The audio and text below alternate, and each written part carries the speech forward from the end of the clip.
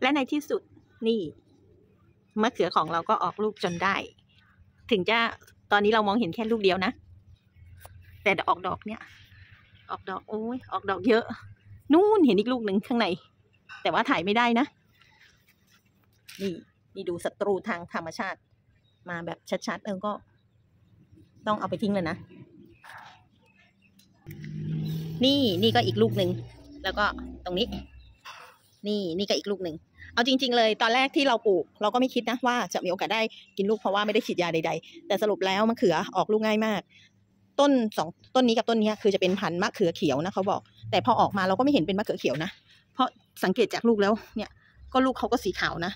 ก็คงแม่ค้าคงแบบซื้อพันธุ์มาแบบนั้น แต่พอพอมาลงดินแล้วอะ ผสมกับ ตรงนี้จะเป็นมะเขือยาว แล้วพอออกลูกมา เออเกสรน่าจะตัวแมลงเอาไปผสมกันไปกันมามะเขือตัวนั้นก็เลยออกมาเป็นมะเขือสีขาวเนาะวันนี้ฝนตกแรงมากดูผักชี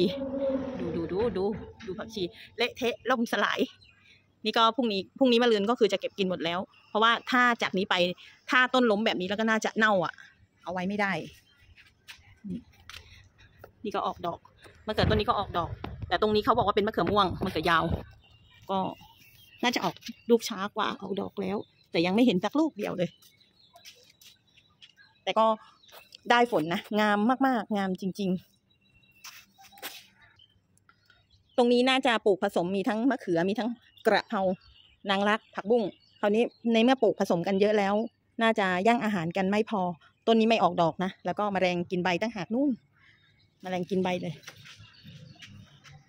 ตรงนี้พริกนี่ก็น่าจะต้องเก็บทิ้งแหละ เพราะว่าดูแย่มากๆแล้ว รู้อย่างนี้ก็เก็บกินตั้งแต่ที่แรกแล้วเนาะตั้งแต่ออกใหม่ ๆ ไม่รอให้นอนมาเจาะอย่างนี้หรอกเสียดายจังต้นนี้ก็ไม่เหลือเลยเหมือนกัน ปลูกยากมากนะพริกนี่ ต้นอื่นก็ยังพอดูแลได้เนี่ย เนี่ย ต้นนี้นะ ก็คือออกออกเม็ดเยอะแยะแล้ว มีอ่าคอมเมนต์คุณพี่ท่านหนึ่งเขาบอกว่าจะเอาน้ำเสาข้าวไปทำให้เป็นตะกอนแล้วก็เอามาฉีด เดี๋ยวเราจะต้องลองทำดูเพราะว่า ถ้าได้ผล พริกของเราก็จะได้กิน แต่รอบนี้ก็คือไม่ได้กินเลย ตอนนี้ฝนตกทุก ๆ วันดู ไม่ได้ค่อยได้ทำนี่รกมากรกลุงลัง แต่อย่างต้นขึ้นช่ายเนี่ยยังไงยังไงก็ คือเขาสามารถโตได้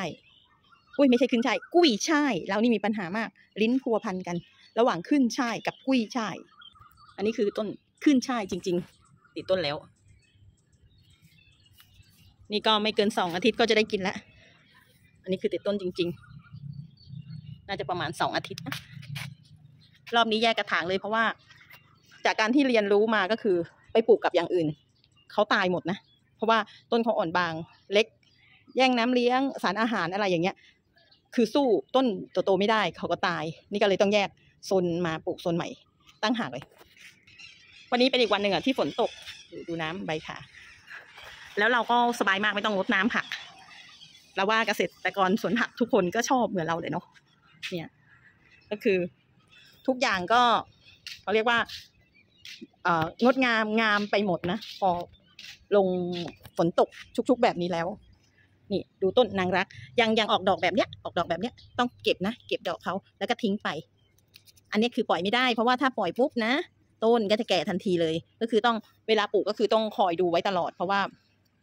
ถ้าจะให้ต้นเขาอยู่กับเราได้หลายรอบ เก็บได้หลายรอบก็คือต้องตัดช่วงดอกข้างบนนี้ทิ้งไป กระเพราแมงรักแล้วก็โหระพาทำเหมือนกันเลยแบบนี้ หลังฝนตกวันนี้ก็รีวิวให้ดูเท่านี้ก่อนบายบายคลิปหน้าเจอกันใหม่